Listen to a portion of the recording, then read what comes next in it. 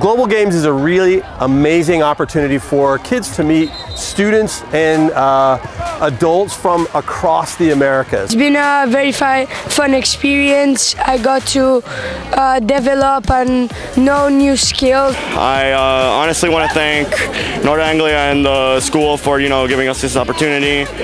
They do it yearly. I decided to join in a little later, but I'm glad I did. Sm- sportsmanship, one of the most important things that they they taught me here. To be really prepared to, if you lose, it doesn't matter. You still continue playing. Yes. I won um, a 200 meter medley, uh, third place freestyle. I got getting my silver medal. Oh yeah, That was I, very got, good. I got silver in the 4x200 relay. And I got silver. I got silver in swimming. All three of my kids uh, attended the Global Games, and when I asked them what they remember most about middle school, it's this. Come, you have to try it. It's a full ride experience. There's no, there's no better thing.